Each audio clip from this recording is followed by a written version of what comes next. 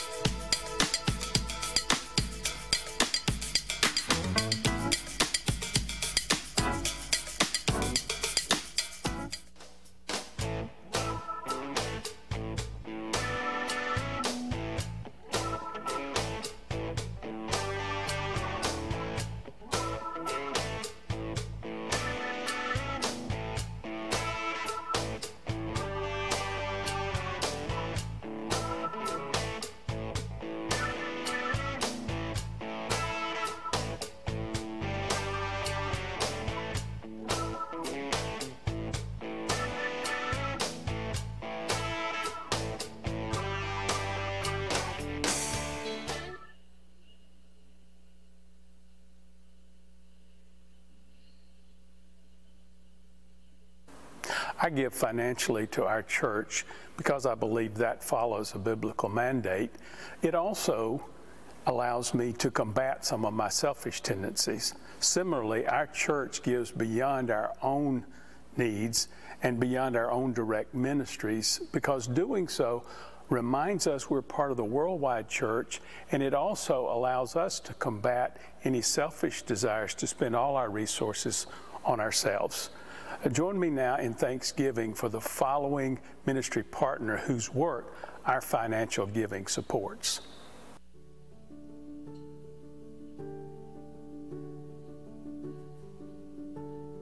Did you know that 16% of Spartanburg County adult residents are uninsured? That is over 27,000 people.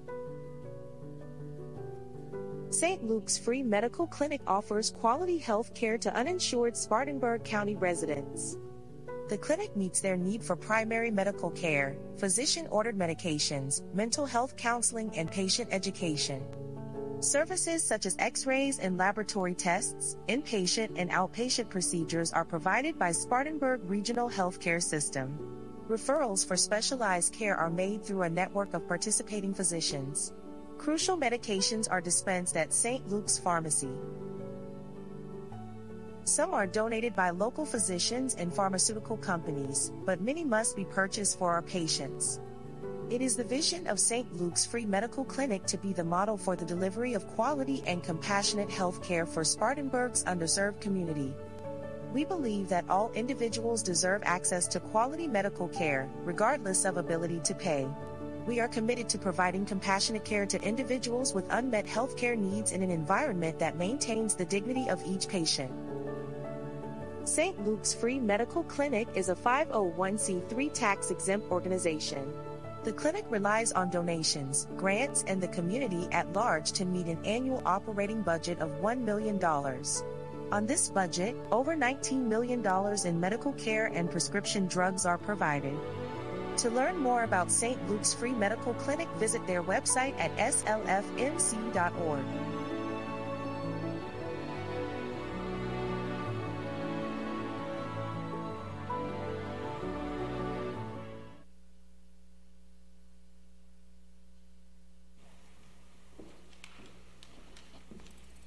Good morning. My name is Sarah Hanks, and I am the Associate Minister of Family Life and the Minister of Connections. So it is my honor to welcome you to worship this morning. If you look at the end of your pews, you'll find a black notebook. If you could please let us know that you are here. And if you are visiting with us, if you could give us a phone number or an email address so that we can contact you and thank you for joining us today. As you can see, we have so many exciting things coming up. Um, we especially are excited to start back our Wednesday nights this Wednesday. We'll start with a drop-in dinner at 5:30, and then IFBC kids will meet at 7. Jeremiah will be teaching his Bibles. No, 6:15. It's over at 7. He's like, ah. he's like, I don't want to do that. Uh, so we'll start at 6:15, going to 7 with Bible study, and the youth will also have a leadership class. So we hope that you will join us on that evening. Today, I would like us to think about how, how do you love Jesus? In the text we're going to read today, Jesus asked Peter three times, Do you love me? And so, as you're preparing your hearts and minds, what would be your answer? Would you say, Of course I love you? Or would you say, I love you so much and I'm so thankful for you? So let's go to God in prayer. Father God, we gather in your presence today with open hearts and minds. We're ready to worship you. We're ready to praise your holy name. When you ask, Do you love me? we can say with a wholeheartedly yes. We ask that you bless this time of worship so we may be uplifted and inspired by your presence. Fill us with your love and grace and help us to honor you in all that we do. All these things in your name. Amen.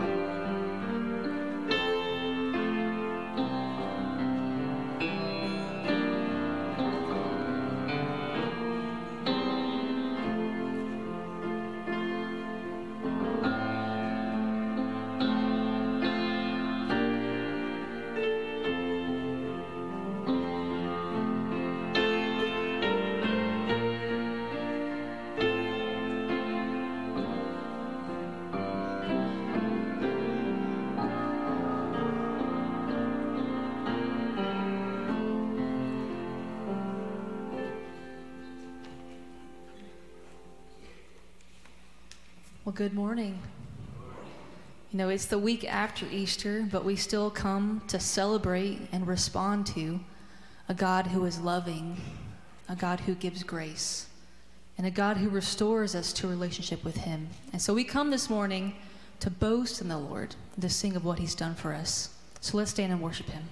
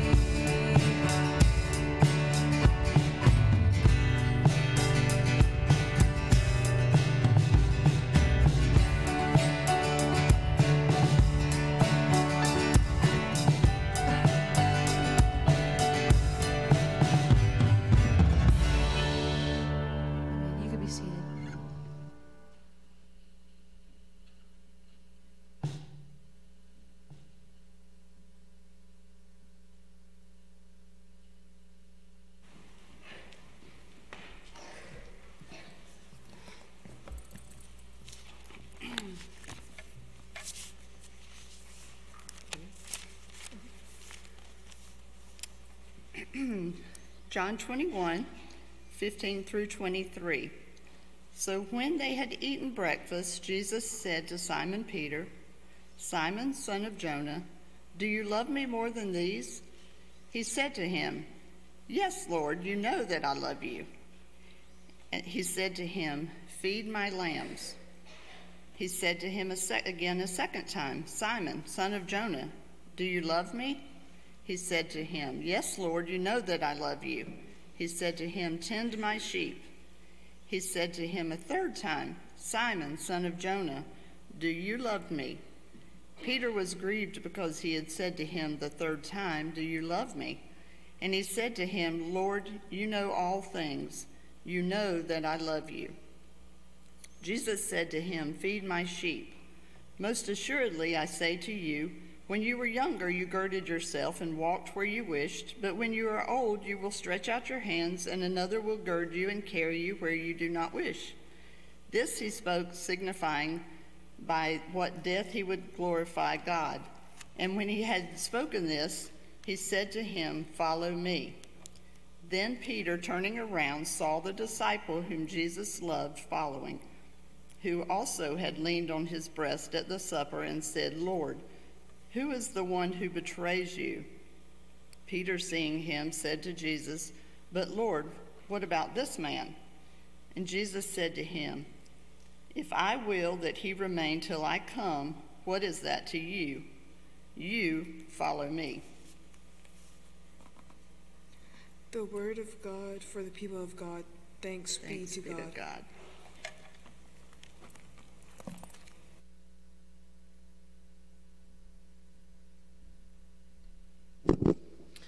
Boys and girls, y'all can come down for our children's time.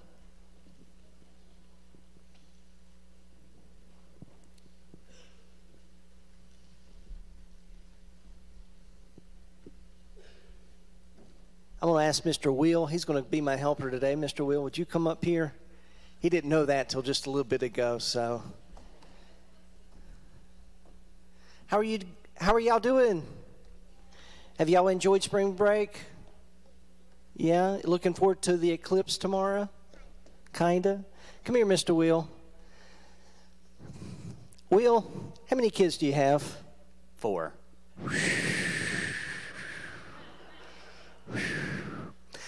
Will, can you be with your kids all the time?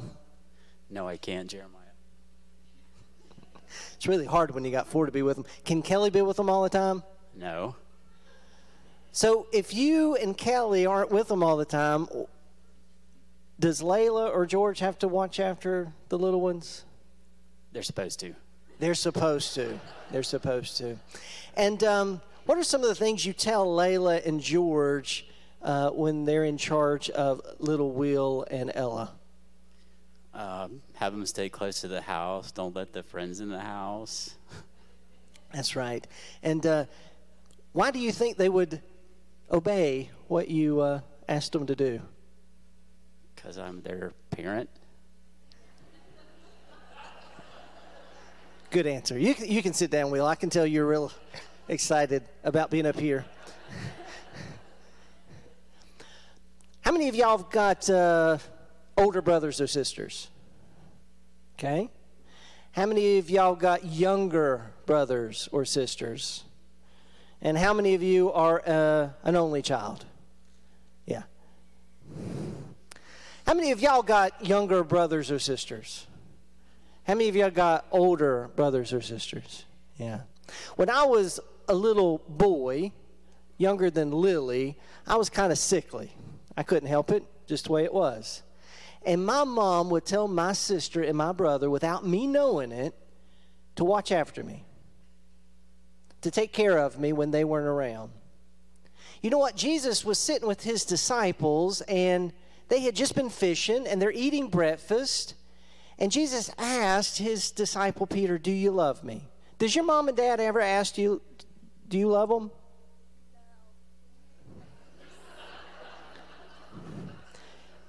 Usually, um, we ask that question when y'all have done something really dumb and y'all have made a mess, and you, you will say, Do you love me? Because it doesn't look like you do. Y'all ever had that? Okay, this is not going as. They always plan these things, but they don't ever go the way you expect. Well, anyway, one of the ways that we show our parents that we love them is how we love our brothers and our sisters, how we take care of them, especially when our moms and dads aren't around. You know, if we're mean to our brothers and sisters when our mom and dads are not around, it might show that we don't love our mom and dad and we don't love our brother and sister. And Jesus tells Peter, Peter, essentially, I'm not going to be around. And I need you to love these brothers and sisters the way that I have loved you. And throughout John's gospel, Jesus has been called the Good Shepherd. And he tells Peter, who's a fisherman, to become a shepherd too. And he tells each of us to love our brothers and sisters if we love Jesus. So look at all of these people around here. Did you know that they're your brothers and sisters? No, some of them are pretty mature. And it would be weird to think of them as your brothers and sisters, but they are. And you know what? The older you get, the more you'll have to watch after some of the ones who are older. Yeah, y'all think about that? We're all responsible to take care of each other. And that's what Jesus asked us to do after his resurrection to love one another and to take care of one another. So, boys and girls, I want you to look out there and I want y'all to look here. They're to take care of you now, and one day you'll be taking care of them. And you do that because Jesus loves us and we love you. Y'all sound so excited this morning, so excited. Let's pray. Gracious God, we thank you for your love a love that comes to us in Jesus. And God, we pray that we will hear the voice of our Master Jesus asking the question Do we love him? And in response, will we love and take care of and shepherd one another? Whether we are young or old, we all need each other.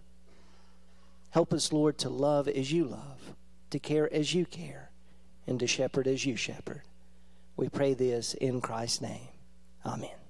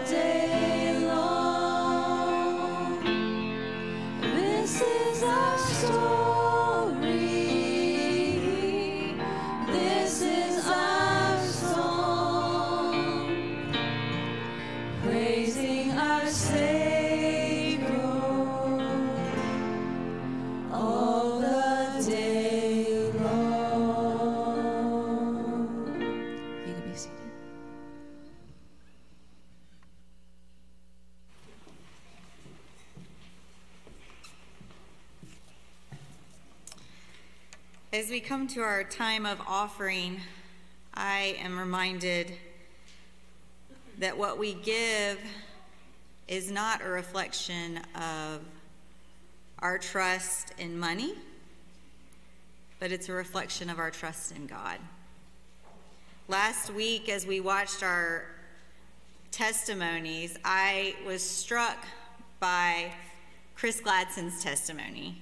And when he said, that he went to passport camp when he was in youth and realized that he really wanted to have a relationship with Jesus. And what hit me was the fact that this church didn't know him. He wasn't going here, he lived in Pendleton. And we were already giving to the camp that was speaking to him when he decided to commit his life to Christ. And years later, he would go back to that camp and become a worship leader for the children's camp and then the youth camp. And then our youth would meet him as he led worship, and he would come and be an intern here, teaching our children to love God. And so, what struck me about that was that God is working in ways we do not see. That was years in the process. That the money we gave here would impact us years down the road. And it's just a beautiful picture of the tapestry that God is weaving that we may not see. And we get glimpses of that. Glimpses, and, and I'm thankful that we got to know Chris and we got to know what our giving was going to, that that was just one story of the hundreds of kids that go every summer. But what a gift that we get to glimpse that and know that that is the story we get to see, but those stories are happening all, all over the place. And this morning I was thinking about how lucky I am that I get to see on Saturday mornings when we do our food pantry that you're giving, though you guys don't get to see it, I want to share with you that the people who come in in the mornings, they share with us their stories. They share with us their trials, they ask for prayer, and we may not know their whole story, but we pray for them, and they're willing to embrace us as part of their life. And I'm just an ambassador for our congregation as a whole. And so I just want to say thank you for your giving, for the investment that you're making in people you may never meet, but they're there. And just to remind us that our giving is not about the money, it really is about the work that's being done after it goes from this place. Let's pray. God, thank you so much. Lord, we know we've heard today in our text that we are called to feed your sheep. And God, that means so much more than just food. God, we pray that what we can give, even though we know that it is not enough, God, we pray that in your hands it becomes abundant. Lord, we trust that because you are a faithful God, lives will be changed. God, that what we can give will become so much more and impact so many more. And we pray, Lord, that we would have the faith in you to know that that's true. In Jesus' name, amen.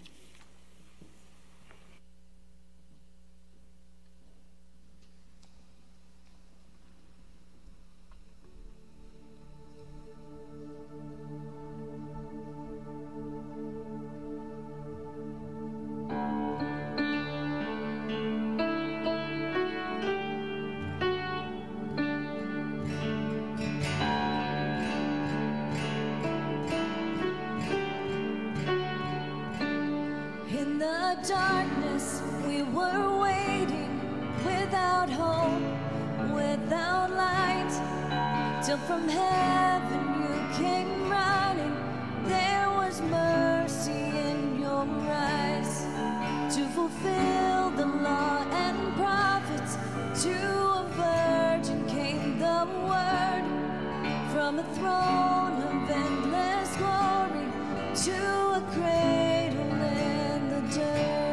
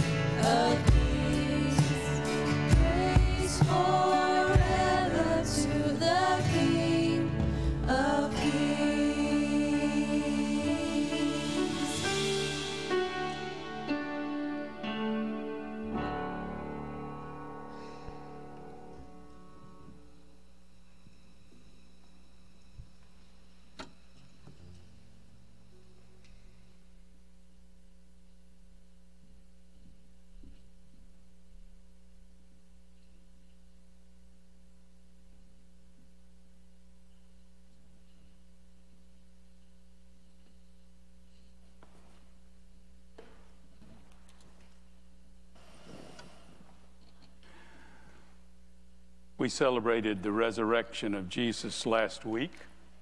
As Sarah reminds us, we celebrate the resurrection every time we come together. And we should. For the resurrection of Jesus represents the highest moment in human history. For the resurrection represented the completion of the plan of redemption. God had set in motion this plan many, many years prior. And the, rep- the resurrection said, the plan is complete. On the cross, Jesus said, It is finished, representing uh, certainly the completion of that gruesome crucifixion, that gruesome execution. But it is finished meant more. It meant that phase of the plan was over. It's now time for the next and final phase, the resurrection. It's a great story. It's a great uh, image. It's a great, if you want to put it in crass terms, it's a great product. This story of the resurrection, this reality of new life being raised from the dead.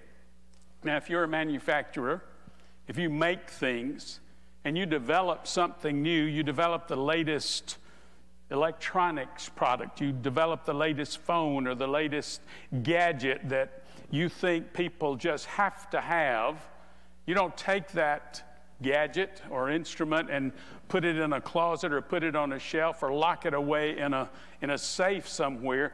You develop a marketing strategy and you tell everyone about your new product and you try to convince them they must have it. Now, you may get wealthy in the process, but that's just a byproduct, right? Well, we, as the followers of Christ, have been handed the most wonderful product in the world, and that is the resurrection power, the resurrection message, the reality that Jesus Christ living, Jesus Christ gives us new life, and we can share that new life with everyone we encounter, and we'll never We'll never give it away in the sense that we won't have it. It continues growing and abounding, going from us and going forward. So the church of Jesus has been given the instruction that we are to market what Jesus has done, not so we can become wealthy, not so that we can sell this to anyone. We have the tremendous privilege of trying to give away what Jesus has given to us. Now, in order for us to be effective, there's some lessons that I think this scripture before us from John chapter 21, there's some lessons that will help us be the most effective marketers that we can be. Lesson number one the church needs to understand the vital role restoration plays in our lives. We see this in this interaction between Jesus and Peter. Uh, they're at breakfast.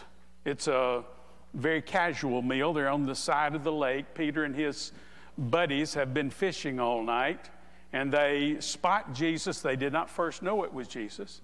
But they spot Jesus on the shore and they make their way there along the way, recognizing Jesus, who has just given them a hint, or actually a straight direction, as to where they can find fish, for they've been ineffective all night long.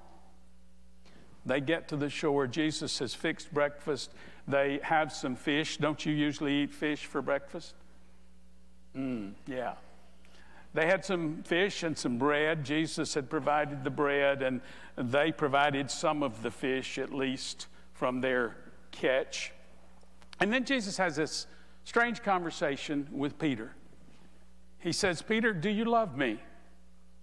Well, now, we don't have any record that throughout the interaction of Jesus and the disciples in their three years together, that there'd been a lot of uh, sentimental talk about love. They had not sat around the fire at night as they were traveling, telling each other how much they loved each other.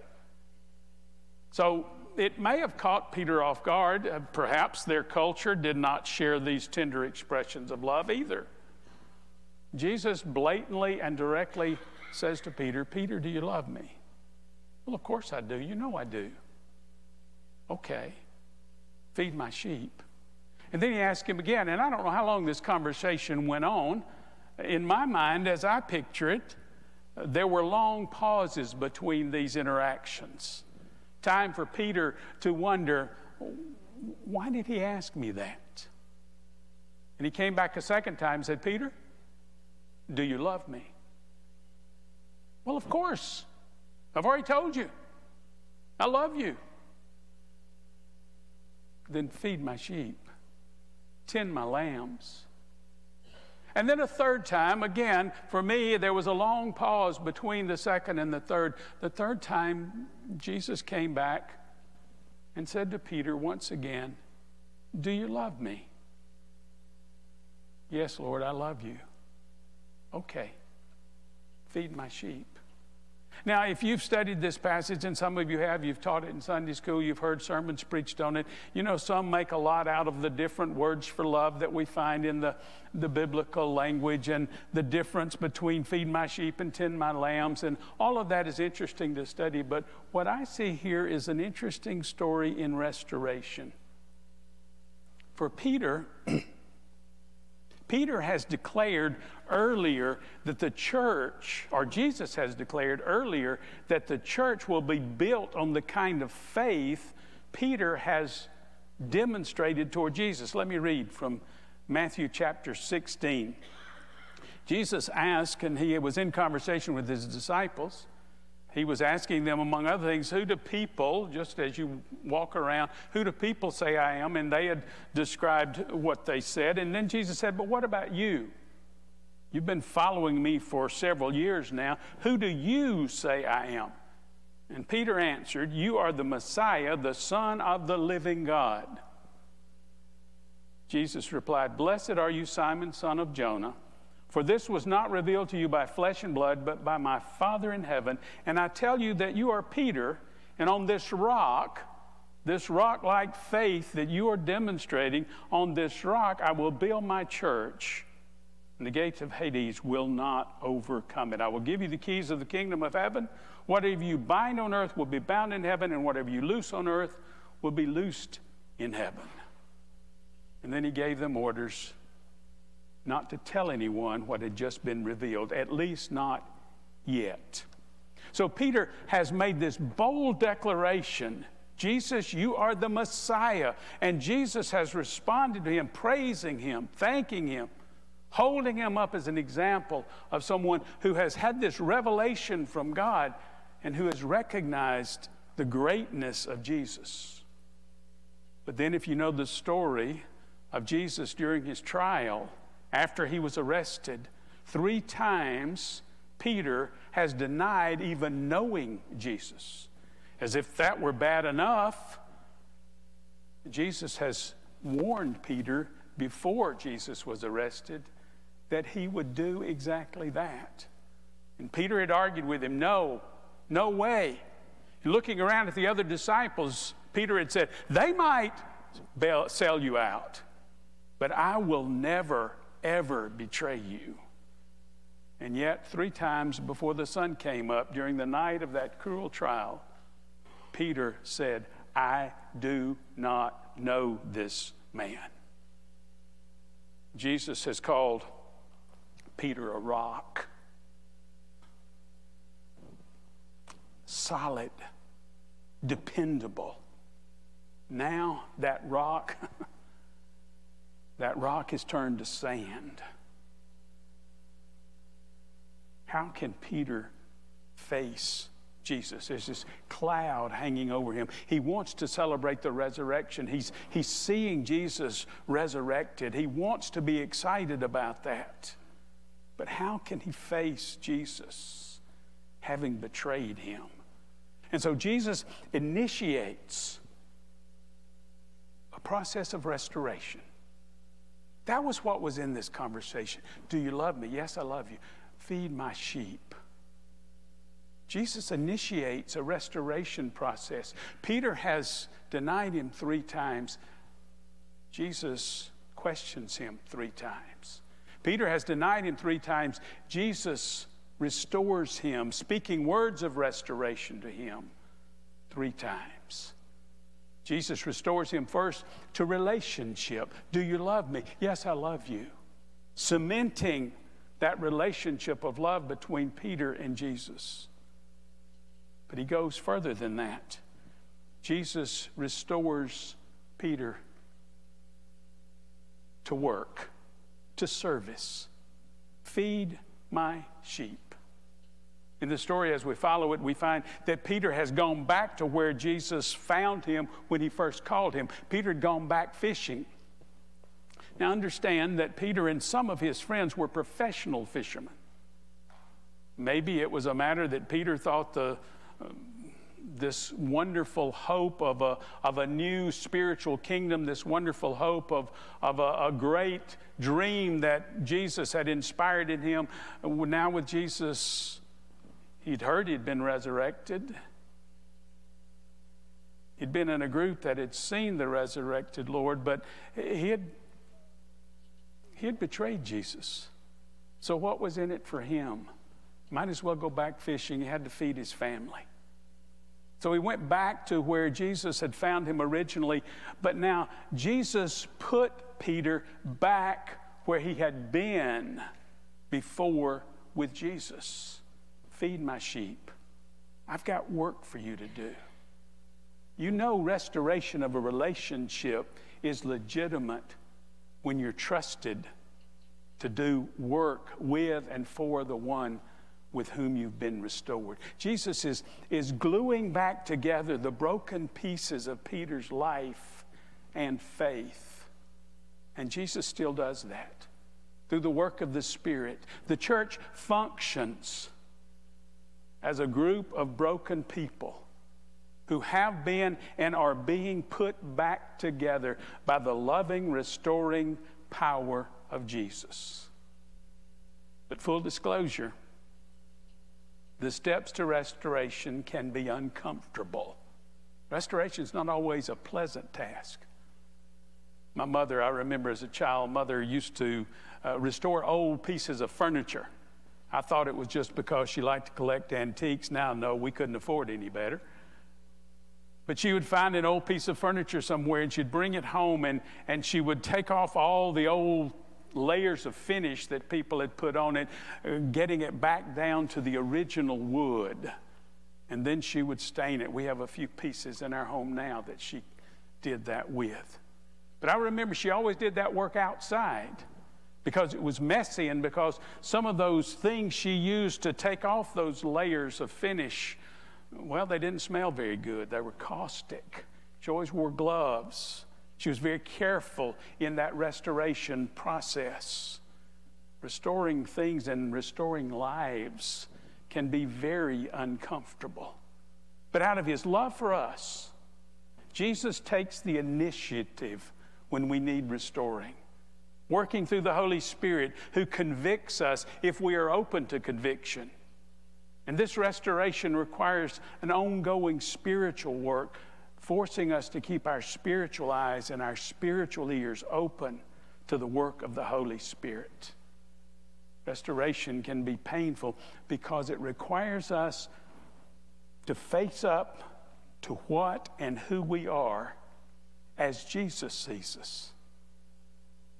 That, that conversation between Jesus and Peter had to have been hard for Peter because Peter was seeing how Jesus was seeing him someone who was flawed, someone who had betrayed him. But he also saw that Jesus saw him as someone who was worthy to work in Jesus' kingdom. Do you love me? Not just do you love me, then do you love me more than these?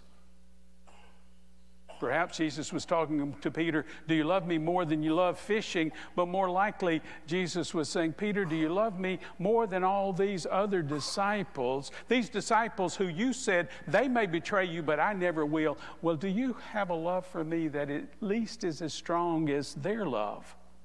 Or perhaps even greater than that love? Restoration often requires an honest evaluation of our priorities. How, how high a priority do we place on our relationship with our Lord? The same way that he did with Peter, Jesus meets us where we are. Peter and the other disciples did not make an appointment with Jesus and say, Meet us on the, on the, on the shore of the lake early in the morning, and after we fished all night, we'll have breakfast with you. No, they went fishing. They had no plans for meeting Jesus. Jesus initiated, Jesus came to them, Jesus met them where they were. And Jesus meets us where we are and leads us to where we need to be. And in our response to the love and the forgiveness of Jesus, we are then called to practice the same kind of love and forgiveness with others. This being restored comes with consequences. And as a restored people, Jesus expects us to be expanding His work of restoring, working always to be restoring relationships with others around us, and to be preaching and teaching the message of restoration to the world around us. That includes forgiving others. Peter once asked Jesus, Jesus, how many times should I forgive someone up to, or someone who's wronged me? Up to seven times? And Jesus responded, Not seven times, Peter, seven times 70 or seven times 77. There are several different ways of translating that phrase. But what Jesus was saying was, Peter, you don't count how many times you forgive. You forgive how many times someone needs forgiving. You don't make a list of how many times you've already forgiven so you can say, well, your forgiveness is up because God doesn't treat us like that. And so we are to be as forgiving as other of others as God is forgiving of us. And forgiveness, Peter was told by Jesus, feed my sheep, serve others. And forgiveness is a means of serving others. A servant mentality makes us quicker to forgive. If we're serving each other, forgiving is just part of our service. Now, there's something else in this story, too, that tells us how, how best we can serve. And serving each other in this restoring business helps us get out the message for others notice how we are restoring each other and we're forgiving each other and we're working with each other. We best serve we best serve when we're forgiving. We also best serve when we when we stay in our lane. Do you like driving down the interstate when someone passes you and is weaving in and out, maybe has come in behind you and gotten close and then don't you love being passed on the right side? Are you one that passes on the right side? Nobody here would do that, I understand. But these people that weave in and out, and you're just, you're just fuming, stay in your lane. Well, that's what Jesus says to Peter here. N- not literally, but that's the point. You see, Jesus informs Peter of what his plan was or what God's plan was for Peter. He says, Peter, and he goes into some detail about how he was working now and how later uh, he would be treated. And Peter, at least church legend has it, Peter uh, he came to a very gruesome end, crucified, and by his choice, crucified upside down because he did not feel himself worthy to be crucified in the same manner that Jesus was.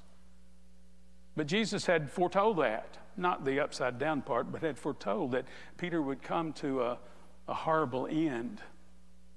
And after he told him that, Peter looked around and he saw his buddy John over here, one of the other disciples, and said to, said to Jesus, uh, What about him? uh, you just told me I'm not going to wind up so well. Well, what about him? Maybe I'll feel better about my demise if, if his is going to be at least as bad. And what did Jesus say to him? If I can translate it into modernese, Jesus said to Peter, what happens with John's none of your business. mind your own business, stay in your lane. You follow me.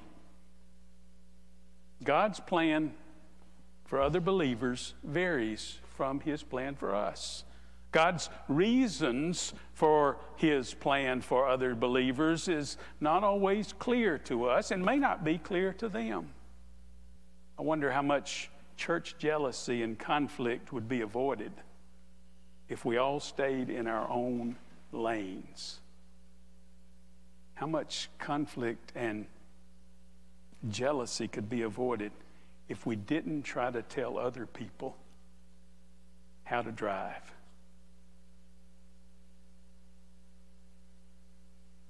I've been doing this for a number of years, what I try to do. And I discovered a long time ago there's always somebody thinks they know better how to do my job than I do. And they're usually right. but it's so very easy to look at someone else and their relationship with Christ and to see how they're doing it. It's so very easy to say, well, you know, they ought to. Or, you know, you ought to, or you should. Or, Lord, you should be doing this with them. Let's hear the word of Jesus today. Stay in your lane. You'll be better for it, and they'll be better for it. Now, there's one thing, there's one final lesson I want to draw out here very quickly. When Jesus told Peter, Peter, you don't worry about what's going to happen with John. And then he says, if, and underscore the word if. If I want him to still be alive when I return, that's none of your concern, Peter. But as it sometimes happens, the if got dropped when the story got told around in the early church. And it began to be told that, well, John's going to still be here when Jesus returns. That wasn't what Jesus said, was it? He said, if that's what I want. So the final lesson is that we will serve more effectively and we will be better at this restoration business and we will be better able to market the truth about Jesus Christ and we'll serve better if we're careful about what we believe and what we tell about what we believe. Jesus did not, boldface not, underscored, all caps. Jesus did not say Jesus, John would still be alive. He said, if I want him to be, that's none of your business what we believe about biblical truth and about life and the world in general, we've got to be careful. Why would someone believe our witness for Christ if they hear us and see us buying into some of the fanciful stories that abound due to people's obsession with online? I hate to use the word information, I'm not even sure it is informing us. We've got to be secure in our relationship with our Lord and service by being careful with what and who we listen to and believe. Don't believe everything we hear unless it comes directly from Jesus. And be careful of those who claim to speak for Jesus. And yes, I know sometimes I am one. But we are responsible. We are responsible to weigh carefully everything we hear and everything we choose to believe and everything we tell others about what we believe. This false rumor about Jesus' words to Peter about John's staying around demonstrate very clearly how easy it is to misunderstand God's promise. We are responsible to understand God's word accurately. Lessons. Lessons that help us better be prepared to live out our lives as restored people in Christ and to share that message with our world. Restoration may be difficult, but it's worth the effort because it can lead to healthy churches and healthy Christians. Let's pray together. Let's take a moment and just consider as the Holy Spirit works in our lives individually and with us collectively. What kind of restoration work is the Spirit wanting to do in you today or to begin in you today? Will you engage? Will you engage the Lord, prompted by the Spirit, in that conversation? What restoration do you want to do in me today, to begin in me today?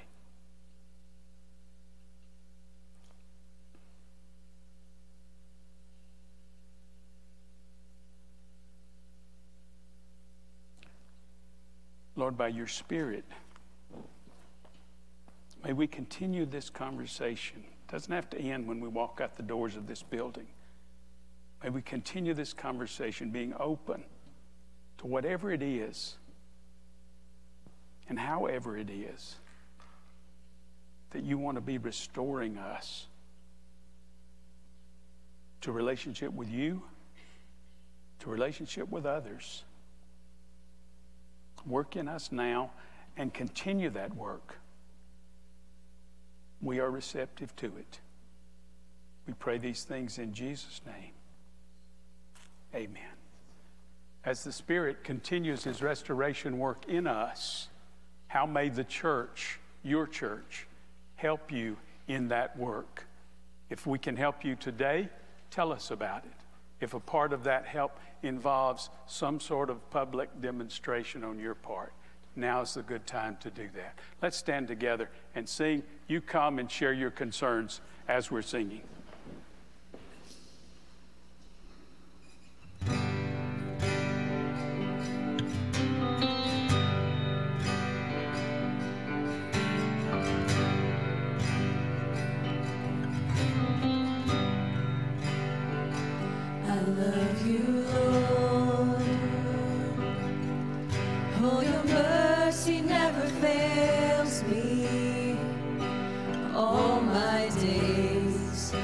Glad you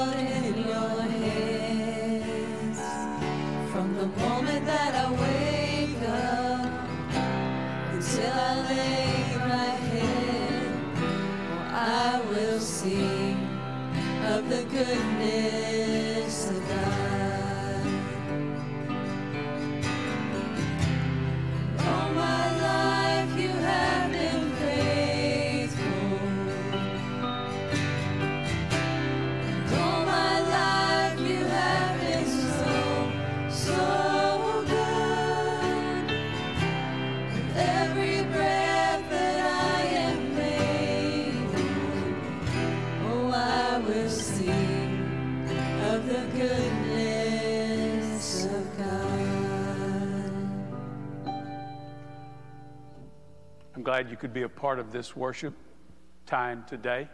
Go from this place with the Spirit of God continuing to restore you and continuing to show you how you can be part of His restoration effort throughout the world. Let's go from here singing, shall we?